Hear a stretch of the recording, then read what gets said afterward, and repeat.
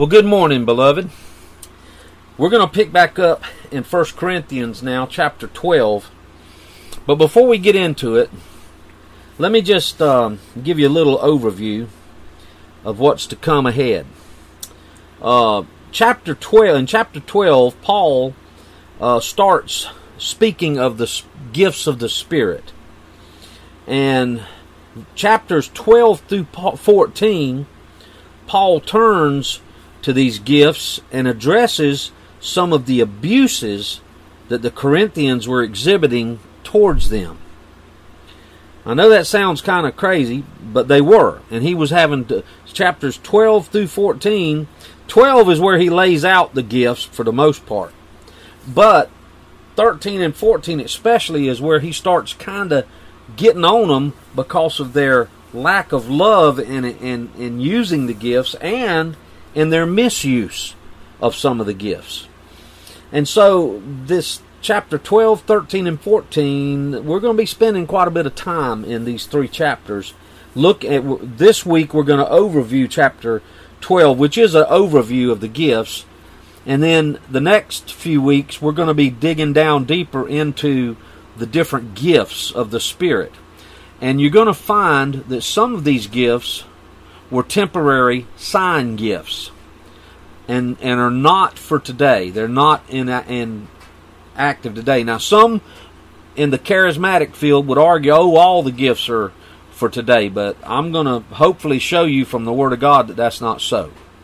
Uh, and then we're just it's going to be a few weeks getting through chapters 12 through 14. So let me just dive in and start on verses 1 through 3 of 1 Corinthians chapter 12. And this first portion that we're looking at is showing us the Holy Spirit's role concerning the spreading of the gospel and spiritual gifts.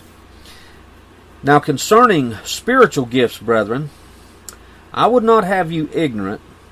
You know that you were Gentiles carried away into these dumb idols, even as you were led.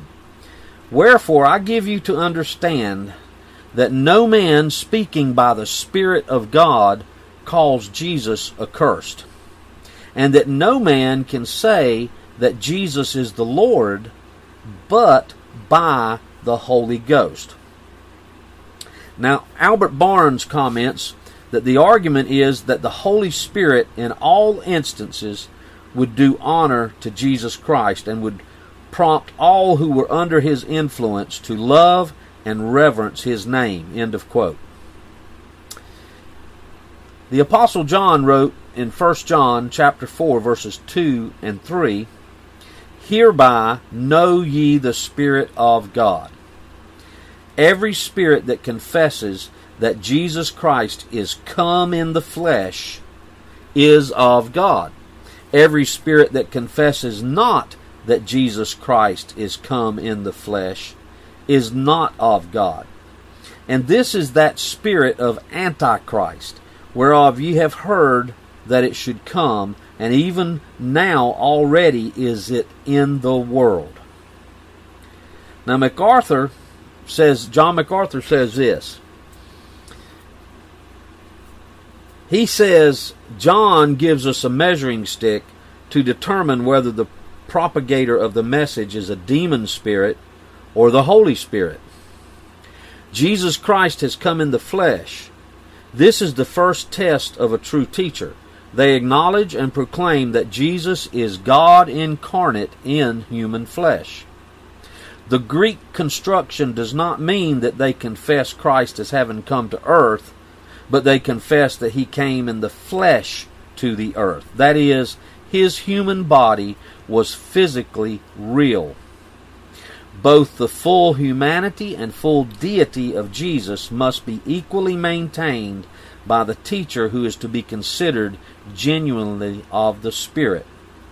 The Holy Spirit testifies to the true nature of the Son, while Satan and his force distort and deny that true nature. End of quote by John MacArthur. You see, in that day, especially in that day, there were those who claimed that Jesus, being the Son of God, they, they were known as Gnostics. And the Gnostics had a belief that the flesh is evil, the flesh is bad, so therefore Jesus could not have come in the flesh. What we saw, what you saw of Jesus was just a physical emanation, but it wasn't really flesh and blood like we are. It was just made to look like flesh and blood. And that's what John and and so many of the apostles, Paul and all, are fighting, and, and that's why he brought out that unless a person confesses that Jesus came in the flesh, he was 100% human, he had a fleshly body, then that spirit, if you don't confess that, that is not of the Holy Spirit, because the Holy Spirit will bring you to the point where you see that Jesus was a man. It's the Spirit of God who reveals the truth about Jesus Christ, and this truth will never contradict God's Word. In Matthew 16, verse 17, Jesus answered and said to him, Blessed art thou, Simon Barjona, for flesh and blood has not revealed it to thee, but my Father which is in heaven. And what had been revealed to Peter? What had been revealed to him was that Jesus Christ was indeed the Christ, the Son of the living God. And in John 15 26, but when the Comforter is come, whom I will send unto you from the Father, even the Spirit of truth which proceeds from the Father, he shall testify of me. So we see here that the Spirit reveals Jesus and who Jesus is to his people and he also testifies. That's what he does. He testifies of Jesus Christ and who Jesus Christ is. Those who present something false about Jesus Christ the Lord or about the gospel which he and the apostles proclaimed are under a curse. In Galatians chapter 1, verses 8 and 9, it reads, But though we or an angel from heaven preach another gospel unto you than that which we have preached unto you, let him be accursed. Well, Joseph Smith, who got the golden plates from so called golden plates from the angel Moroni, which is where the Book of Mormon come from, that angel that spoke to Joseph Smith is cursed, and so is Joseph Smith, according to Galatians 1 8. And Paul reiterates in verse 9 again, as we said before, so say I now again, if any man preaches another gospel to you than that you have received, let him be accursed. And we shouldn't be surprised, beloved, for Satan himself is transformed into an angel of light. 2 Corinthians 11 14. John MacArthur writes, or excuse me. Yeah. Oh, I'm sorry. I'm I'm looking at the wrong place in my notes. Calvin says, as the wicked sometimes speak of Christ in honorable and magnificent terms, is this an indication that they have the Spirit of God? Now, let me read that again that Calvin said. As the wicked sometimes speak of Christ in honorable and magnificent terms, is this an indication that they have the Spirit of God? I answer, they undoubtedly have so far as that effect is concerned. But the gift of regeneration is one thing, and the gift of bare intelligence, with which Judas himself was endowed when he preached the gospel, is quite another. Hence, too, we perceive how great our weakness is as we cannot so much as move our tongue for the celebration of God's praise unless it be governed by His Spirit. Of this the Scripture also frequently reminds us, and the saints everywhere acknowledge that unless the Lord opens their mouth, they're not fit to be the heralds of His praise. Among others, Isaiah says, I am a man of unclean lips. Isaiah 6 5. That's the end of Calvin's quote.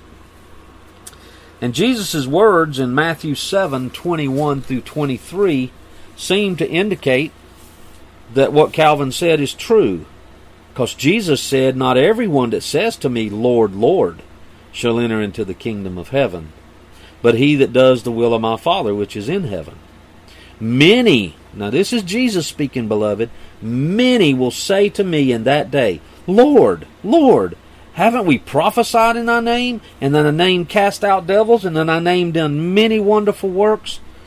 And then will I profess to them, I never knew you. Depart from me, ye that work iniquity.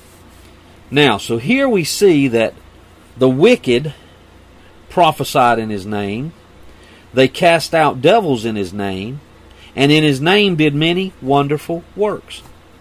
All this teaches us that God can even use sinful, wicked men to do his work, but that's not a guarantee that they have the Spirit of God within them. Only the Spirit of God working through them. Paul hinted at this in Philippians 1, verses 15 through 18. Some indeed preach Christ even of envy and strife, and some also of goodwill.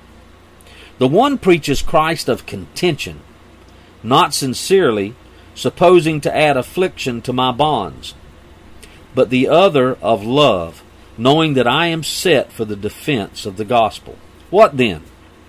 Notwithstanding every way, whether in pretense or in truth, Christ is preached, and I therein do rejoice, yes, and will rejoice. So you see, the Holy Spirit can speak through wicked, lost people. There's many a, a preacher that's been in a pulpit that's as lost as a goose in a snowstorm. They don't know the Lord, but they're preaching the truth, and the and the only way they can preach the truth is by the Spirit of God enabling them to do that. But that does not mean that they are regenerated and that they're saved. This is what Jesus is saying. This is what we just that Calvin said. And it's true. There's certain things that if a person says, you can know right away whether they're of God or not of God. But sometimes it's hard to tell if a person is speaking the truth, whether they are of God or not, because they're speaking the truth. But God knows, and that's why it's so important, beloved, to just make sure that your heart is right with God. Please, beloved, make sure your heart is right with God. Well, secondly, let's look at verses 4 through 6 in 1 Corinthians 12. And these verses show us the unity of the Father, the Son, and the Holy Spirit concerning the spiritual gifts. We read, Now there are diversities of gifts, but the same Spirit. There are differences of administrations, but the same Lord. And there are diversities of operations, but it's the same God which works all in all. Let me read that to you in a couple of other versions. In the easy or in the uh, English Standard Version, now there are varieties of gifts, but the same Spirit. There are varieties of service, but the same Lord. There are varieties of activities, but the same God who empowers them all in everyone. Now, let me read the easy read version to you. There are different kinds of spiritual gifts, but they're all from the same Spirit. There are different ways to serve, but we serve the same Lord. There are different ways that God works in people, but it is the same God who works in all of us to do everything. Now, in all of these translations, we see a commonality. They all say the same Spirit, the same Lord, the same God. All the gifts are given by the Spirit of God to serve the Lord Jesus Christ, with the Father empowering and working through those gifts in different ways to accomplish His will. Therefore, we are gifted by the Spirit to serve the Lord Jesus through the power of the Father to accomplish His will within the body of Christ. We serve the Lord by serving His people. Well, now let's look at verse 7. And in this verse, it teaches us that every born again Christian, every born again Christian, is gifted by the Spirit for the edification or the building up of the whole body of Christ. 1 Corinthians 12:7 in the King James says, "But the manifestation of the Spirit is given to every man to profit withal. And that to profit withal means to profit all. In 1 Corinthians 12:7, the, easy, the English Standard Version, to each is given the manifestation manifestation of the Spirit for the common good. And then in the easy read version, something from the Spirit can be seen in each person. The Spirit gives this to each one to help others. Now, here's the truth that I want to bring out of this one verse in verse 7. Gifts are not given for self edification. Although that is a byproduct of using them to serve others, yet they are not they were not given there's no gift that's been given for self edification but there's many charismatics that say that's exactly what some of the gifts are for it's for self edification but it's not it the gifts were given as we see here in verse 7 by the spirit to for the profit of the whole body not for self edification but for the profit of all now, next, verses 8 through 11. These verses show us that the Spirit of God determines who gets what gifts. And we read in verses 8 through 11 in the King James For to one is given by the Spirit the word of wisdom, to another the word of knowledge by the same Spirit, to another faith by the same Spirit, to another gifts of healings by the same Spirit, to another the working of miracles, to another prophecy, to another discerning of spirits, to another diverse kinds of tongues, to another the interpretation of tongues. But all these work that one and the self same Spirit, dividing to every man severally as he will. Now let me read that in the English Standard Version. For to one is given through the Spirit the utterance of wisdom to another the utterance of knowledge according to the same Spirit, to another faith by the same Spirit, to another gifts of healings by the same Spirit, by the one Spirit, to another the working of miracles, to another prophecy, to another the ability to distinguish between spirits, to another various kinds of tongues, to another the interpretation of tongues. All these are empowered by one and the same Spirit who apportions to each one individually as he wills. Again, we see the phrase repeated by the same Spirit over and over again. Why is Paul emphasizing this so much? Why is he saying it in this way? Well, beloved, it's because of this. Within the Corinthian church, there was jealousies over the Spirit, over the gifts of the Spirit and there was one thinking, well, my gift is better than your gift, and your gift isn't as good as my gift, and and some were saying, well, I want this gift here because it's it's a more flashy gift. I don't want just this gift, and you see that was going on in this church, and Paul was trying to con- show them, look, guys, all of the gifts are given by the same Spirit, and He gives them as He wills. A child of God does not choose what gift he receives. It's totally up to the Spirit of God. But the emphasis of by the same Spirit teaches us that every gift that is given is very important, and none are more or less important than others, for it's the Spirit of God that gives it.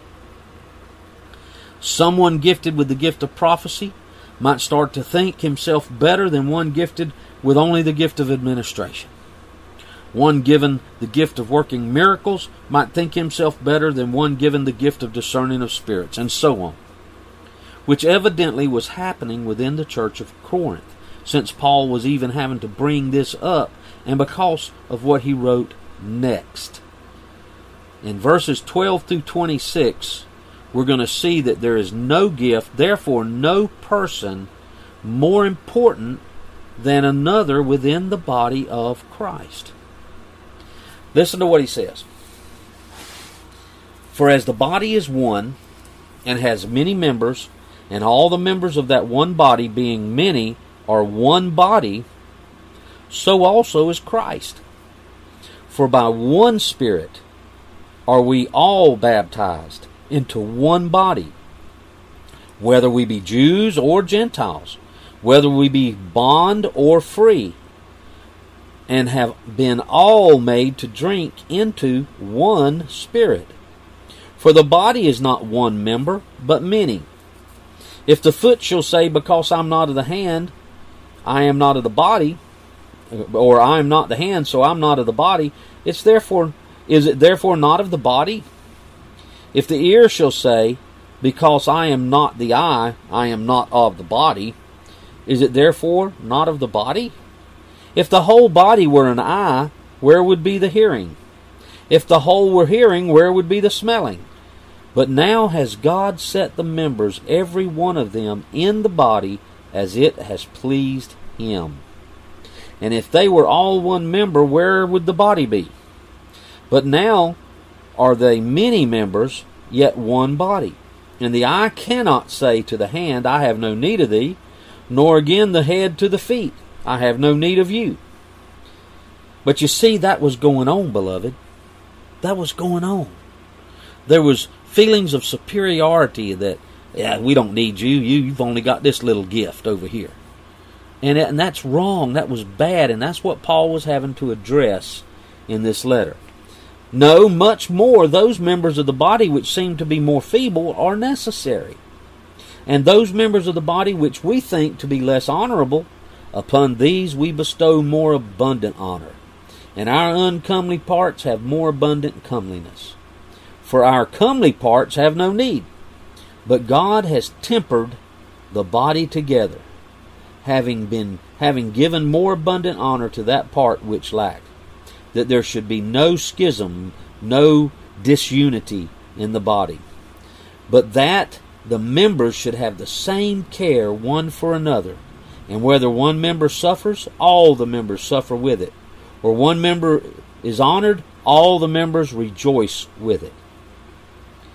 Now, beloved, we have some in our church that are gifted with preaching, some with teaching, some with singing, some with administrative and financial gifts, some with hospitality and serving gifts, some with maintenance skills, some with electronic equipment skills, some with security skills, some with the gifts of working with children, some with discerning of spirits, and some are prayer warriors. We need them all in order for this church to function properly. And remember, whatever your gift is, God gifted you with that gift to accomplish His purposes. And He expects you to use that gift or gifts to help build up the body of Christ and to bring honor and glory to Christ Jesus our Lord. We are many members, but one body. We should never be envious of the gifts God go, chose to give to another, for He gave it for the body which we are all part of. Remember, a Christ, as a Christian, you've been gifted by God. For the manifestation of the Spirit is given to every child of God for the good of the whole body. If you don't know what your gift or gifts are, then ask God to show you. Or, or ask someone else who knows you well, and probably they'll be able to tell you what your gifts are, what you're good at, what you're blessed in.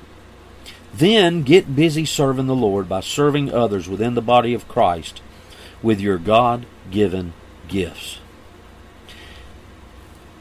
Finally, Paul speaks of a more excellent way.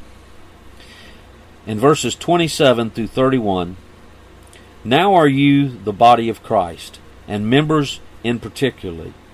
And God has set some in the church, first apostles, secondarily prophets, thirdly teachers, after that miracles, then gifts of healings, helps, governments, diversities of tongues. and now Paul's going to ask a rhetorical question. And a rhetorical question begs an answer. And, and the rhetorical question that he's get questions he's getting ready to ask all beg the answer no. Okay? Are all apostles? No. Are all prophets? No. Are all teachers? No. Are all workers of miracles? No. Have all the gifts of healing? No. Do all speak with tongues? No. Do all interpret? No but covetly covet earnestly the best gifts, and yet I show to you a more excellent way. Now, Paul said, but covet earnestly the best gifts. Now, there's some differences of opinion on the translation of this phrase among scholars.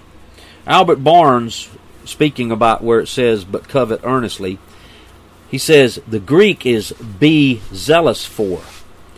This word, however, may be either in the indicative mood, ye do covet earnestly, or in the imperative, as in our translation.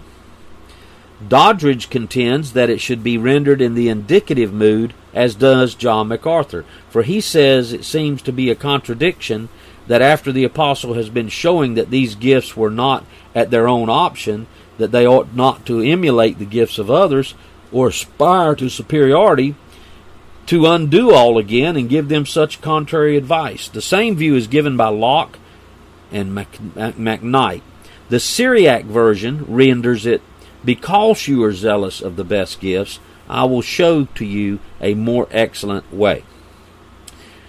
But, says uh, Albert Barnes, there's no valid objection to the common translation in the imperative, and indeed the connection seems to demand it. Grotius renders it, Pray to God that you may receive from him the best, that is, the most useful endowments. This, now, this is what Barnes seems to think. He's putting it into his own words, what Paul's trying to say to them. Okay? So this is this is sort of like Albert Barnes' paraphrase of what Paul just wrote in verses 27 through 31. He says this I have proved that all endowments in the church are produced by the Holy Spirit, and that He confers them as He pleases. I have been showing that no one should be proud or elated on account of extraordinary endowments, and that on the other hand, no one should be depressed or sad or discontent because he has a more humble rank. I have been endeavoring to repress and subdue the spirit of discontent, jealousy, and ambition and to produce a willingness in all to occupy the station where God has placed you. But I do not intend to deny that it is proper to desire the most useful endowments, that a man should wish to be brought under the influence of the Spirit and qualified for eminent usefulness. I don't, do not mean to say that it's wrong for a man to regard the higher gifts of the Spirit as valuable and desirable if they may be obtained, nor that the spirit which seeks to excel in spiritual endowments and in usefulness is improper. Yet all cannot be apostles, all cannot be prophets. Now that's the end of the quote by Albert Barnes. Spiros Zodhiates adds in his complete word study New Testament, he says, the best gifts mentioned here refer to those which are most useful. The Corinthian believers were desiring the gifts that would bring them the most acclaim and prestige among their fellow brethren in Christ. That is, the gift of tongues, of prophecies, of knowledge, as is evidenced by Paul's statement in 1 Corinthians 13:8, charity never fails, but where there be prophecies they shall fail, where there be tongues they shall cease, where there be knowledge it shall vanish away. Instead, Paul urged them to covet earnestly, covet or earnestly desire the gifts that would best benefit the cause of Christ, not themselves. In chapter 13, Paul further explains that the gifts must be done in love for Christ, not for self. So, what are we to think of all this seeming confusion concerning this? Well, the plain truth, I believe, that's being conveyed is in this chapter is this. Now this is Dempsey speaking. We must realize that it's the Spirit of God that grants spiritual gifts as He so pleases. And therefore, if we have gifts that put us in the limelight, we're not to look down our noses at others who have gifts that keep them out of the limelight. And those who have gifts that seem to be hidden to others within the body must not be jealous of those who have been gifted with gifts that do put them in the limelight. But it's not wrong to seek the Lord for greater gifts that would allow you to better edify or build up the body of Christ. Paul in fact speaks to this very thing in 1 Corinthians chapter 14 verses 1 through 3. He says, "Follow after charity and that's agape love, and desire spiritual gifts, but rather that you may prophesy." And that just simply means preach. For he that speaks in an unknown tongue speaks not to men, but to God. For no man understands him, howbeit in the Spirit he speaks mysteries. But he that prophesies speaks unto men to edification and exhortation and comfort. As I said at the beginning, next week we'll delve deeper into looking at the individual gifts of the Spirit. Some of the gifts were temporary sign gifts, and some still exist today. There is much debate among Christians concerning this, but we're going to try and let Scripture speak, and where it's silent, grant grace. So, what are we to think of all this? Pray to the Lord and give your heart to the Lord and seek to serve Him with what gifts He's given you. And if He so desires to give you more gifts, great. Use them for the body, to build up the body of Christ. Amen. Amen.